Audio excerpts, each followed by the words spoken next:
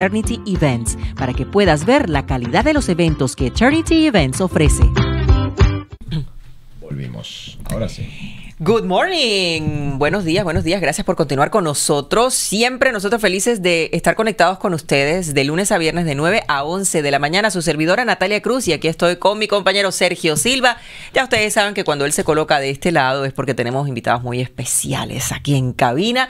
Así mismo. Eh, son las 10 y 14 de la mañana y quisiera darle la bienvenida a esta invitada, pero que además es una experta que va a ayudarnos a analizar un poco ciertos comportamientos, ¿no? De los seres humanos, cosas que vemos a veces y que uno dice, pero ¿por qué? ¿Por qué es así? ¿O qué es lo que quiere decir esta persona con su comunicación no verbal? Porque mira, se pueden decir muchas cosas sin necesidad de diciendo decir ahora. ni una palabra, ¿eh? Y tu patear abajo también Y- me está diciendo mucho. Exactamente, ¿ves? mira, yo a veces cuando él dice alguna cosa, yo mm, lo pateo por aquí.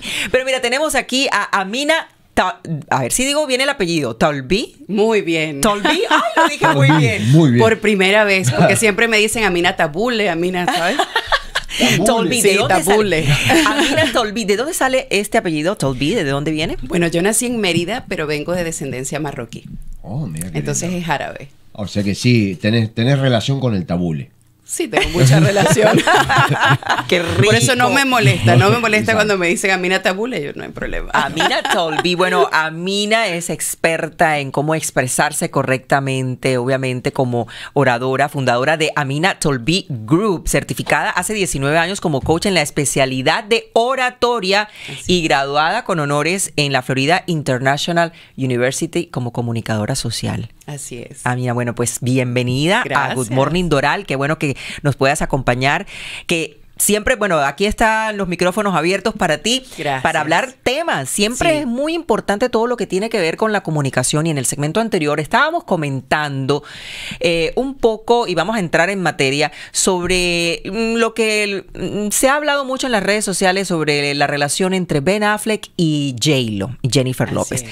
Se ha dicho y empieza todo el mundo a opinar, tú sabes cómo son las redes sociales, y decir, no, este matrimonio no le damos mucho tiempo de vida. Ya aquí hay problemas, eh, no se lleva, no son muy diferentes, eh, Ben Affleck no quería estar allí. Bueno, son muchas las especulaciones sobre lo que pudo haberse dado allí en esa en ese evento de los Grammy donde Así es. Jennifer López se veía muy feliz, muy contenta, pero no veíamos lo mismo de, de Ben Affleck. Así que tú eres la experta. A ver, tú con tu ojo analítico, ¿qué viste tú ahí en esa relación de Ben Affleck y Jennifer Mira, ahí vemos el video de vuelta. Claro. el video. Vamos a ver el video. Ahí ellos están, se sonríen. Claro, ahí ya la cámara los capturó. Espera que tiene que. Va a hacer un loop y va a volver el video para que lo vuelvas a ver. Este, ahí, ahí vas a ver. Claro, ahí ya están como felices, ¿no? Como Pero aparentemente cuando contentos. Sacan la cámara de encima. Ahí está. Mira, cállate la boca. Ay, ay, Dios. Tiene una reacción así, ¿no? Que, Claro. Ahora, este es uno de los videos, porque Uno también en otros también se capturó la imagen de Ben Affleck muy aburrido, no quería sonreír y ella se le veía en algunos momentos como molesta de que su esposo pues no estuviera a la par con ella, no disfrutando. Claro. Mira, por ejemplo, ahí esa cara como de, de angustia, como si le estuviera doliendo algo. Eh, y- Pudiera ser zapatos chicos, tal vez. De que pronto. los zapatos. O un cinturón apretado. Oh, pero- bueno, O el calzoncillo, también. Era, muy chico. apretado. muy chico el calzoncillo también. Ser, puede ser. no. Y entonces es la cara como de. "Mm". Bueno, tenemos que entender algo. Lo primero es que las personas que están limpiándose o que están en un proceso de, de purificarse de una adicción, como el alcoholismo, van a pasar por diferentes procesos. Eso también es un duelo, aunque no lo parezca. Claro. Porque hay una sensación de pérdida y una sensación de tenía algo en el que yo me conectaba con mi satisfacción y ahora no lo tengo. Las personas que eh, entran en alcoholismo, en drogadicción o en algún tipo de dependencia emocional o de algún tipo de herramienta como estas, por decirlo así, son personas que no saben vivir en el presente y no saben disfrutar sus entornos porque su disfrute está en el alcohol o está en las drogas.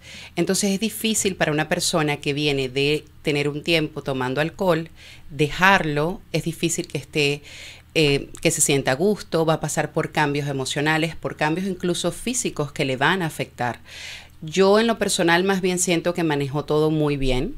Las personas cuando están en un momento de purificación incluso pueden ser agresivos verbalmente y físicamente y él se muestra más en dependencia, él le está dando más autorización a ella de llevar un rol.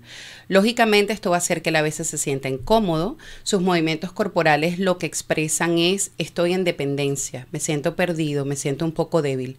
Esa fortaleza que él tenía la agarraba tal vez a través del alcohol porque era esa herramienta con la que él se podía sonreír, podía sentirse parte de, podía sentirse disfrutando del momento. Ahora él está en entornos donde usualmente él estaba probablemente tomado, ahora no está tomado, es diferente. Ya ves todo con un ojo distinto. Entonces yo creo que tal vez sería bueno el observarlo más con ojos de compasión, que observarlo para juzgar, más cuando una persona está en un proceso tan difícil como el de limpiarse y purificarse de algún tipo de adicción. Y creo que eso es lo que necesitamos observar. ¿Cuánto tiempo pueden durar? Solo Dios y ellos lo saben. A veces cuando le ponemos mucha fe a una relación no funciona y a veces cuando no le ponemos fe funciona.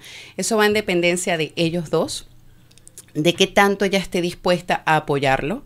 Ella tiene también que prepararse y dejarse guiar por especialistas que le den el apoyo que ella necesita, porque no olvidemos que en estos casos necesita más apoyo quien está dándolo a la persona que se está purificando que la misma persona. Él va a pasar por depresión, va a pasar por tristeza, va a pasar por rabia, porque está expuesto a un duelo.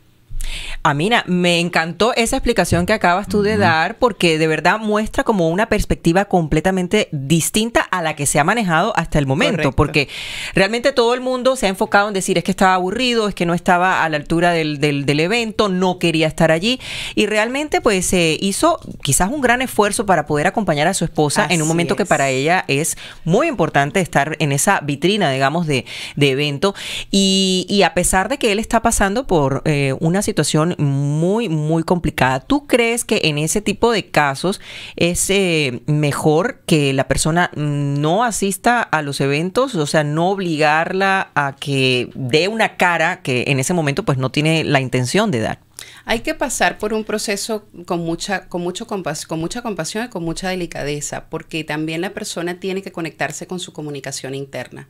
¿Cómo me estoy sintiendo? Y eso es súper importante. Y que las parejas también le pregunten, ¿cómo te sientes? ¿Crees que te vas a sentir cómodo? ¿Qué puedo hacer para ayudarte? ¿Qué puedo hacer para apoyarte? Mira, cuando me sienta demasiado abrumado porque quiero alcohol o porque, o porque me estoy conectando con algo que me está incomodando, voy a hacerte esta señal. En ese momento, por favor, mm. vámonos, vamos a retirarnos. Lo importante acá es la comunicación, pero también no solamente la comunicación entre la pareja, sino la comunicación interna, que es la que me hace gestionarme que es la que me hace tomar responsabilidad y conciencia de cómo me siento. Como yo siempre digo, hay una diferencia garrafal entre hola, ¿cómo estás? y hola, ¿cómo te sientes hoy? ¿Cómo te estás sintiendo? ¿Crees que lo podemos enfrentar? Me encantaría que me acompañes a este evento. ¿Crees que lo vas a poder manejar? Si te llegas a sentir abrumado, vamos a usar esta herramienta. Puedes tomar agüita con, con gas, como que tiene un, un, sabor que te puede ayudar con la ansiedad. Puedes consumir chicle, puedes, o sea, ¿qué te voy a proporcionar para que tú también te sientas a gusto? Él quería estar en un bar. Amina. Claro, probablemente. Él quería estar en un bar, no quería estar ahí, eso es de la música. Él es la parte, de, dice, a mí llévame el Oscar, no me lleves a mí a los Grammy, ¿no? Me imagino, o sea, ese riff y rafe ella lo sabrá, hay que ser matrimonio realmente, pero sí es lo que estás diciendo de que evidentemente ese proceso de alcohol eh, es muy difícil y por eso yo pienso que es importante que lo veamos más con compasión para que también invite a la comunidad que está enfrentando estas situaciones. Realmente toma mucho, mucho de una persona para que quiera limpiarse. Muchísimo. Es súper arduo porque esa persona pasa por procesos que nosotros no entendemos porque no lo hemos vivido. Entonces, cuando ya lo vemos desde ese ojo, ya podemos ser más compasivos, más asertivos, más afectivos y darle el apoyo que esa persona también merece porque está haciendo un esfuerzo. Eso es muy válido, ¿no? Mira, vamos a seguir hablando un poco de lo que es el lenguaje corporal, que es tan, tan importante, no solamente, como lo estás diciendo, en las relaciones de pareja, porque a veces no sabemos cómo comunicarnos con la pareja. Podemos tener mucho amor y decir que amamos a esa persona, pero no sabemos expresarlo, no sabemos cómo comunicarnos. Como experta en, y como coach también en oratoria y en lenguaje corporal, eh, ¿de qué manera saber manejar nuestras comunicaciones nos afecta en las diferentes áreas de nuestra vida? Muchísimo. La comunicación es la base de todo. Como siempre digo, todos somos un producto y nuestra voz es quien nos vende o nos destruye, ¿no? Entonces, también tener conciencia de que anteriormente, científicamente, estadísticamente probado, era el 60%, ahora es el 70% de los movimientos corporales quienes expresan que soy como producto, qué tanta atención te estoy dando, qué tanto valor te doy como oyente, como audiencia o como familia, como pareja. Si yo te digo a ti en este momento una palabra muy hermosa, pero estoy viendo el teléfono, yo te estoy mandando una señal de que no me está importando realmente tu presencia. Entonces tenemos que ser coherentes y congruentes. Pero para conectarnos con esas dos palabras, todo inicia desde la comunicación interna, porque te repito, tenemos en este momento exceso de información. Entonces las personas ya tienen, todo el mundo ya prácticamente tiene déficit de atención. estimulado. Porque tenemos muchas cosas al mismo tiempo. Entonces está el celular y en el celular tenemos una computadora. No solamente es ver el correo electrónico, las redes sociales, los mensajes de texto, WhatsApp. Es decir, estamos invadidos de información. Exactamente. Entonces, al estar con esa sobreestimulación, tenemos que hacer pausas, tenemos que respirar, tenemos que conectarnos con el presente, conectar con la mirada. La mirada es todo en la comunicación, es mucho más que cualquier cosa. Entonces, igual cuando las personas hacen videos o hablan con sus esposas, con sus esposos, en sus trabajos, yo les digo, quítense los lentes tienen que conectar, da, un, da, da, la mano y mira a los ojos. La gente a veces da la mano y hola, mucho gusto, ¿cómo estás? ¿qué tal? me siento bien. No, mira a la persona. Ay, gracias por haber venido a este almuerzo y colocan el celular al lado y dice, bueno, o vine yo o vino el celular al lado. O sea, no, saca el celular de arriba de la mesa, ¿sí? Exacto, o cada dos minutos, ay, disculpa, perdón. Ajá, ¿qué me decías? Ay, disculpa, perdón. ¿Qué me decías? Entonces, yo a veces digo. no, y a veces ni siquiera dicen disculpa, perdón. Porque yo prefiero que me digan disculpa, perdón, permíteme un segundito, voy a contestar algo que es muy importante en este momento. Claro. Me están esperando una, respuesta. Sí, discúlpame, ahora sí. Prefiero que me digan eso, pero es que hay veces que ni siquiera te lo dicen. A veces tú estás hablando y te haces, ah, Es verdad, es verdad. Y a veces ni siquiera, sino que y siguen en el celular y uno dice, pero bueno, o sea, ¿en qué momento es importante lo que yo te estoy diciendo? O sea, ¿cuándo me vas a mostrar un poco de respeto a lo que yo te estoy hablando? Correcto. O pasas momentos que pueden ser muy especiales, sencillamente porque estás documentando todo lo que estás viviendo y no lo estás viviendo lo estás documentando para las redes sociales. Entonces, la comunicación, la semilla de la comunicación es la comunicación interna y esto impacta nuestra vida a nivel empresarial, nuestra vida a nivel afectiva. Siempre es la comunicación interna la que permite cómo yo me voy a conectar con los demás, cómo yo me voy a comunicar. Y también minimiza un poco la compulsividad y la impulsividad que sucede en muchas personas y esas son las personas que a veces no nos dejan hablar, que nos escuchan para contestar y no para comprendernos, que hablan por encima de nosotros y que no conectan con nuestro mensaje ni conversación. Y es porque esas personas están teniendo realmente un monólogo. Creen que están interactuando, pero ellos solamente quieren que su voz sea la que se escuche, quieren, se, hacen la pregunta, supuestamente te la hacen a ti, pero ellos se están dando la respuesta, ¿no? Mm. Entonces... ¿Cómo? Ok, entonces aquí va el otro punto. ¿Cómo puedes tú manejar las relaciones de comunicación con personas así? Con personas que son muy o controlan la conversación y como dices tú, preguntan, pero ellos mismos se responden y no están interesados realmente en escucharte. ¿Cómo logramos nosotros allí eh, adaptarnos un poco, integrarnos a este tipo de, de personas y de conversaciones? Todo va en dependencia si la relación es una relación laboral, de negocios o es una relación afectiva. Si es una relación afectiva, sencillamente buscar un entorno de calma, porque son personas que tal vez están expuestos a mucho trabajo, a muchísimas tareas, son un poco hiperactivos, un poco impulsivos, compulsivos y es por su mismo entorno muchas veces. Entonces siempre busca un sitio y un punto de encuentro de calma. ¿Ok? En el que la persona pueda realmente brindarte cinco minutos. Y antes de eso, conéctate con tu comunicación interna para que puedas proveer esa calma y esa pasividad. inicia no hablando del problema, porque a veces tenemos eso.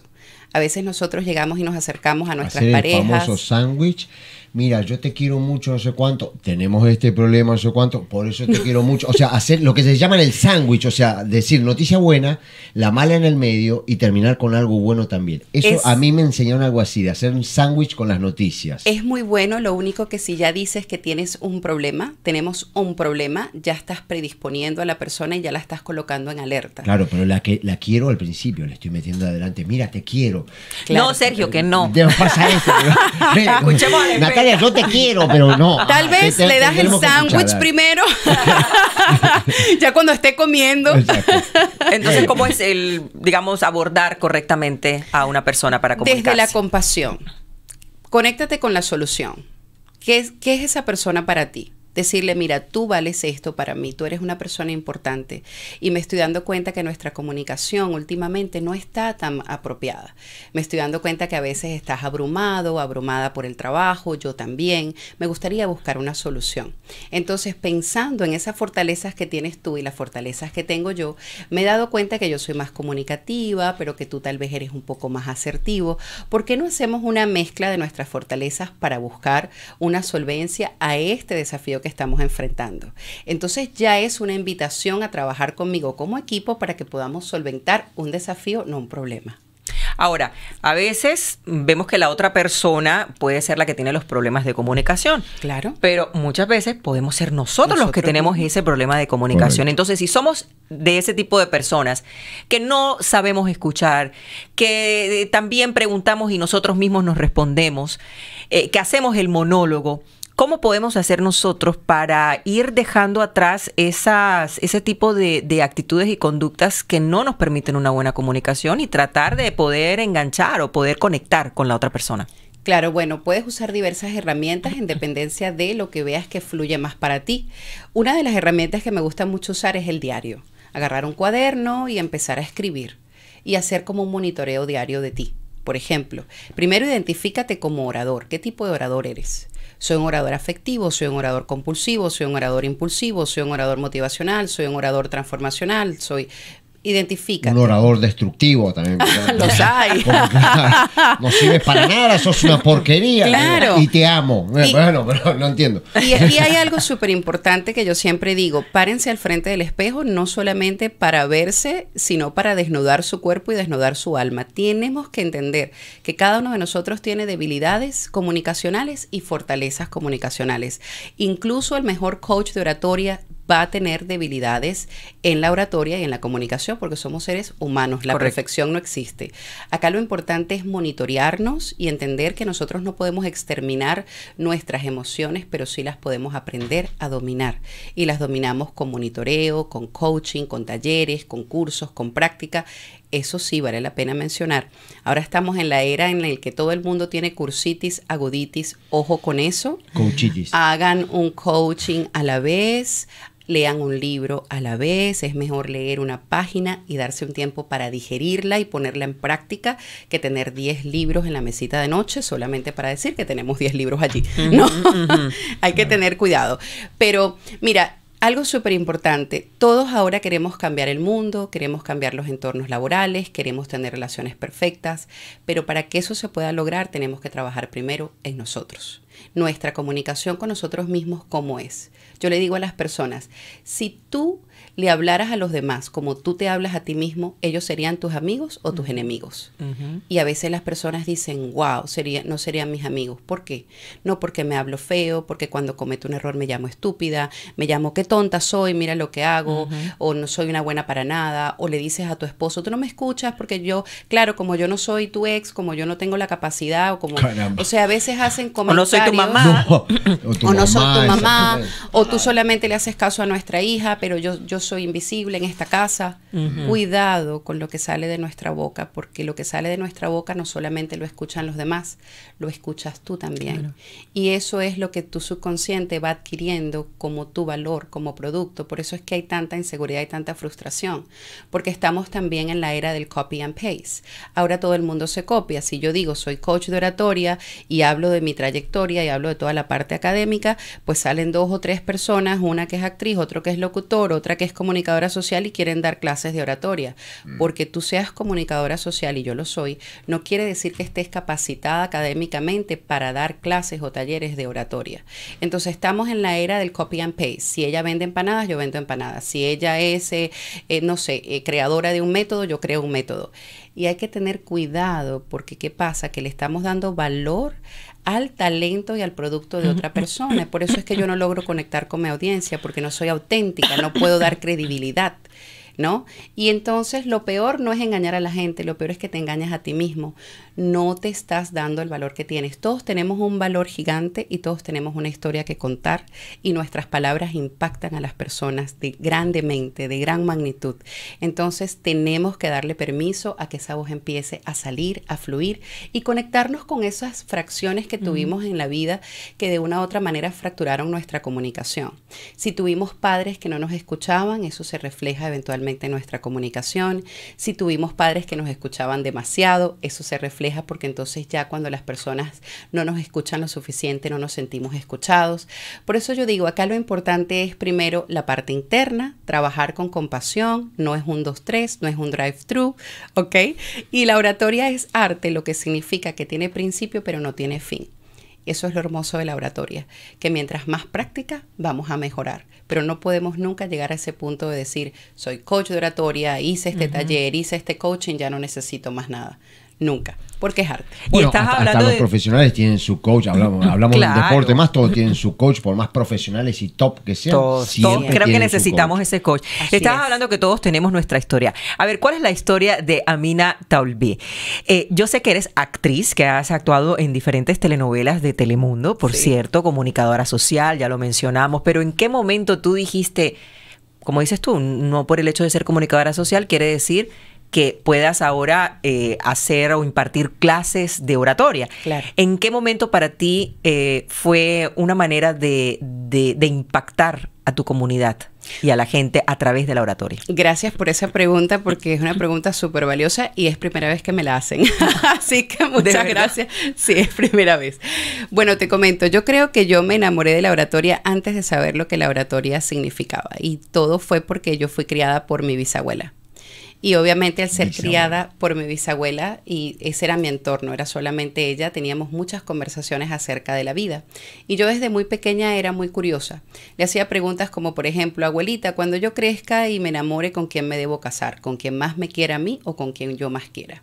Ella me decía, ¿por qué haces esas preguntas, abuelita? Porque yo observo que siempre hay uno que aparentemente quiere más al otro. Entonces yo quiero saber ¿Cómo yo voy a ser más feliz? Entonces ese tipo de preguntas y ese tipo de conversaciones son las que teníamos.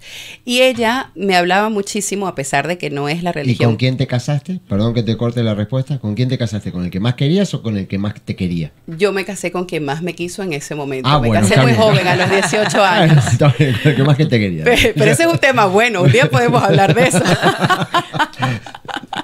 Aunque yo creo que obviamente yo lo quería mucho, pero tenía 18 años, entonces siento que tal vez no tenía como la madurez, ¿no? Claro. Ahora creo que eh, el amor lo veo diferente. El amor no se ve igual a los 18 que a los 40 No, definitivamente es que no. Siempre, es que siempre la experiencia va a ser un peine que te da la vida cuando uno ya se queda calvo igual. Así es, así es.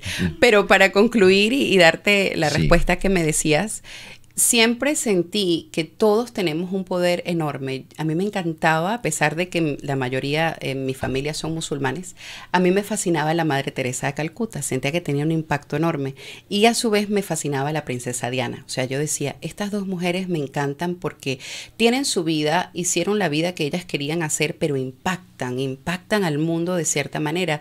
Y yo siempre le decía a mi abuelita, abuelita, yo no quiero solamente tener una carrera, casarme, tener hijos y ya. Yo siento que hay algo más importante allí. Por un tiempo pensé que eso era unas ideas mías y, y ya después con el tiempo me di cuenta al tener mi fundación, al escribir un libro, al trabajar en medios comunicacionales, al tener mucho y al perderlo todo económicamente hablando, incluso emocionalmente, porque eso es la vida, estamos expuestos a... Me he dado cuenta que todo el mundo tiene un valor enorme. Me he dado cuenta que va por encima de nuestra religión, que va por encima de nuestro estatus social, que va por encima de lo que estudiamos. Todos tenemos una historia maravillosa que contar. Cuando yo empecé a adentrarme en el mundo del coaching y empecé a compartir mis debilidades y la historia de mi vida, que tal vez no es como tan agradable contar, pero que es de donde viene mi fortaleza, y empezamos a hablar del suicidio, empezamos a hablar del abuso sexual, las personas se impactaban, pero además de esto empezaban a abrir su corazón a contarme sus historias. Y ahí es donde yo me di cuenta que en realidad confirmé que sí tenemos un poder muy enorme y que realmente nuestro poder no está en nuestras máscaras, sino en mostrar esa vulnerabilidad y esas dolencias incluso, porque de allí, de allí es donde verdaderamente viene nuestra fortaleza. Entonces me enamoré del coaching y lo, lo mezclé, lo mezclé completamente con la oratoria y después hice un método que es oratoria afectiva, porque cuando se habla de oratoria usualmente lo conectamos con técnica y lo, lo conectamos con diplomáticos y con políticos y con empresarios de alta gama. Y la oratoria afectiva es sencillamente, sí, vamos a usar todas esas técnicas, pero no lo vamos a hacer desde la frialdad, vamos a trabajar desde la emoción, desde tu historia, porque tienes una historia que contar, tienes un valor único como producto. Cada uno de ustedes lo tiene y eso no tiene competencia, eso no tiene copy and paste. Entonces, eso me enamoró, me conquistó y dije, me voy a dedicar a esto, quiero tocar personas para que sencillamente despierten y hagan su proceso, porque lo hace cada persona ¿no? Es sencillamente despertarlos a que dejemos de mirar tanto a los lados, miremos más al espejo porque tenemos alguien allí que ha pasado por grandes cosas y que merece compartir esa historia, no solamente para recordarse lo que ha logrado, sino para inspirar a otras personas. Qué bonito que habla. Qué lindo que habla. Mira, hablaste de tu libro, de la fundación. ¿Quieres comentarnos un poquito más sobre, sobre la fundación y lo que hace? Claro que sí, es Shine Bright Foundation. La fundé en el 2012 para apoyar a las personas con, eh, condiciones especiales, con síndrome de Down, autismo, lesión cerebral. En este momento tenemos un programa nuevo que se llama Una Oportunidad. Es un programa hermoso que estoy liderando con la abogada Yesenia Iacona abogada de inmigración, y lo que estamos haciendo es ofreciéndole todo el apoyo en lo que es la representación legal y demás a madres, en su mayoría solteras, que tengan hijos con condiciones especiales, que quieran venir a los Estados Unidos, ajustarse a un estatus migratorio o que estén en los Estados Unidos y estén fuera de ese estatus migratorio. Entonces me encanta, es hermoso. Pero hemos tenido diversos programas, tuvimos Arte para que me conozcas, tuvimos Minas Mini Farm, donde usábamos animalitos rescatados para darle terapia a las personas con condiciones especiales y ahora una oportunidad que me encanta. Qué lindo, o sea que has podido integrar todo esto, eh, tus grandes pasiones y poder hacer algo para impactar a tu comunidad. En cuanto al libro, háblanos un poco del libro, cuándo lo sacaste, qué quisiste eh, eh, plasmar en ese libro. Bueno, el libro es súper interesante, se llama Lenguaje Animal para conectarnos con lo que ellos sienten, piensan y saben y es un libro donde yo coloqué todas mis vivencias porque yo realmente nunca estudié nada que tuviese que ver con animales. Exacto, eso te iba a preguntar, lenguaje animal. Yo dije, doctor Doolittle, comunicarse con los animales, ¿cómo él? ¿Cuál es la idea? Pero mira, aunque no lo parezca, descubrí otra parte de la comunicación que es súper importante y qué mejor que los animales que nos enseñan a comunicarnos de manera no verbal. A veces tú ves a tu perrito y tú dices, tiene que ir al baño, tiene que hacer esto. ¿Cómo lo has logrado si el perrito no se comunica contigo? Porque pasa algo súper interesante. No estás a la defensiva. No estás observando a mm. tu perrito para contestarle, estás observándolo para entenderlo. Para entenderlo. Que es lo que debemos hacer con también nosotros los seres humanos, ¿no? Wow, mira, eso está muy interesante. Para la voy a observar más a, mi la otra persona. Tienes que observar. No le vayas a decir, amor, te voy a observar como observo al perrito, porque después. no. Exacto. Para mira, y esto me lleva a esta pregunta. Ya obviamente nos has dicho todo lo que es la comunicación, cómo podernos entender y escucharnos a nosotros mismos, ¿no? Y empezar desde nosotros para podernos comunicar. Pero tips prácticos a la hora de entablar una conversación con alguien para que nosotros podamos, em, digamos, tener un lenguaje corporal correcto y que nuestro mensaje se entienda como nosotros queremos eh, expresarlo. Perfecto. Lo primero es conectarte con tu propósito. Antes de hacer una llamada, antes de sentarte en un sitio, antes de ir a una reunión, antes de hablar con tu esposo, antes de hablar con tu jefe, pregúntate, ¿cuál es mi propósito a través de esta conversación? Entonces volvemos a lo mismo, te conectas con la solución no con el problema, y qué pesada, me voy a sentar a hablar con ella, es una antipática, vamos a ver si me va a dejar hablar. Ya te estás predisponiendo y aunque tú quieras disimularlo, tu sonrisa va a ser una sonrisa media, tu la mirada va a ser... La sonrisa de No le sigas dando palo a Ben Affleck. Qué linda la fiesta. Y se nota, o sea, Claro, es como cuando las personas te dicen, hola, qué gusto me da verte. Y uno como que, eso se nota, eso se percibe. Entonces tenemos que entender que así como tú lo notas, los demás también. Claro. Por eso lo primero es conectarte con el propósito. ¿Cuál es mi propósito Sí. a través de esta conversación? Bueno, yo quiero conectar, quiero que lleguemos a un acuerdo y automáticamente estás liderando tus emociones, no permitiendo que tus emociones te lideren a ti.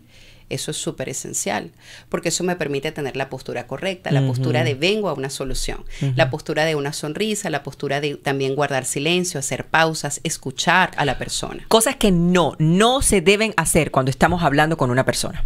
hablar de manera compulsiva e impulsiva. Oh, si el tú teléfono, estás Esconder el teléfono. si tú estás en este momento muy emocional, trata de calmar tus emociones para que puedas ser más asertivo, más proactivo. Y te repito, conéctate con la solución. No te conectes con el problema y sé responsable, porque en la comunicación no soy solamente yo, somos tres. Entonces yo tengo responsabilidad y tal vez a mi percepción yo creo que él no tiene la capacidad de escucharme, tal vez a mi percepción yo creo que ella habla demasiado, pero no puedo olvidar que es mi Te lo dice percepción.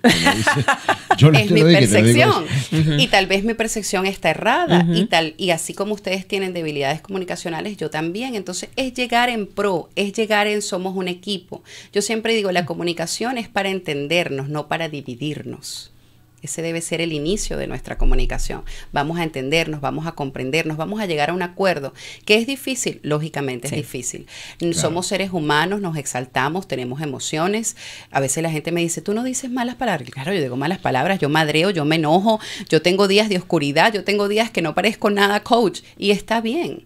Pero al día siguiente me gestiono, me ayudo y trato de volver a levantarme. Y nos levantamos, claro que sí, esa es la idea, ¿no? Claro. No dejes evidencia, ni foto ni video, por favor, cuando estés en ese mood. En ese, Uno ¿ah? puede tropezarse, pero lo importante es poder levantarse y seguir la carrera, ¿verdad? Claro. Mira, hablando de carreras, eh, porque tú eres actriz también Sí. y como decíamos, habías, has participado en importantes telenovelas como El Fantasma de Elena y Aurora de la Correcto. cadena internacional de Telemundo. Correcto. ¿Sigues eh, acariciando los proyectos de actuación? En, ¿Para futuro te vamos a ver en alguna otra telenovela? ¿O Bueno. seguimos viéndote como la coach de oratoria y que se expresa de una manera fantástica como, como lo haces? Gracias. Mira, yo pienso que la actuación es hermosa porque también te permite vivir y experimentar eh, otras emociones y no solamente estar en tu vida y en tu mood y en tu cajón.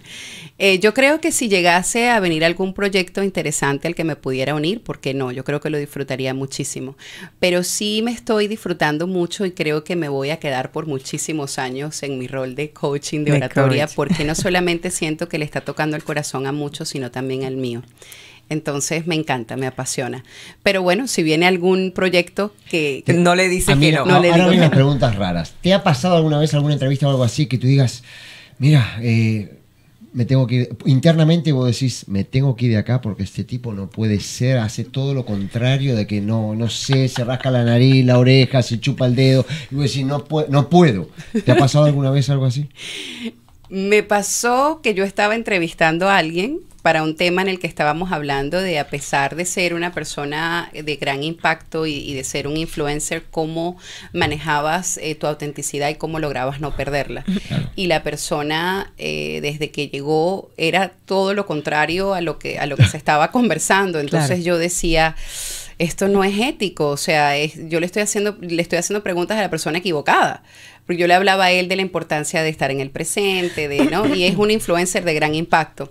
Entonces sí me abrumé un poco, pero es parte de y, Claro. y cuando estudias comunicación social, pues ahí sí te enseñan un poco que estás expuesto a diferentes personas y tienes que saber cómo llevar esa conversación y a veces incluso apoyar a la persona que estás entrevistando porque no tiene contenido, eh, el contenido que se te dijo que iba a ofrecer, ¿no? Pasa.